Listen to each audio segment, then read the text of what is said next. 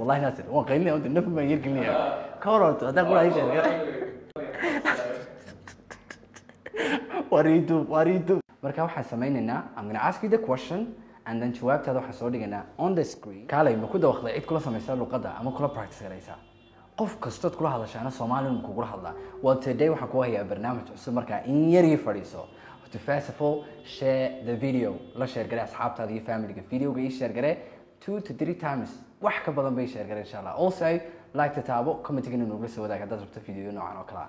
Waa barnaamijkan ku haya waxa weeyaan ama waxaa loo yaqaanaa practice with clam college hargeysa practice with teacher maxamed baashe anigaad ila practice garaynaysaa si weeklyana waan u soo gelinaynaa xalqadahan.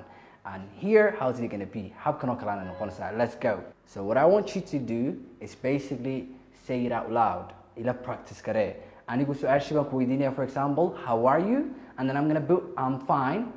On the screen shaashada adigana waxaan doonayaa inaad post garayso insha allah ood isla markaana aad ila practice garayso so we're to talk about hobbies?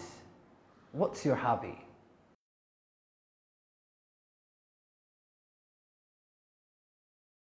Oh this is a good hobby. I also like reading books sometimes. Who is your favorite writer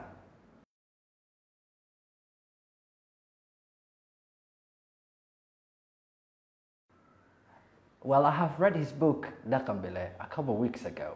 He's an amazing writer.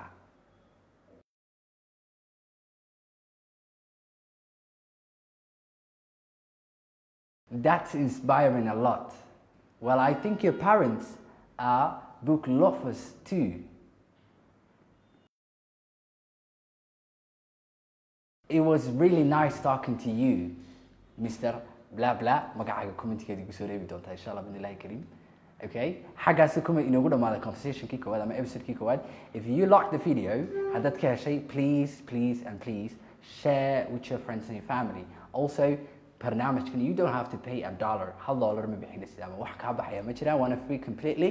Waxaa la practice garaynaysay waa clam college here talking to you was macalin maxamed baarshe see you next time. Asalaamu calaykum waraxmatullahi wabarakaatu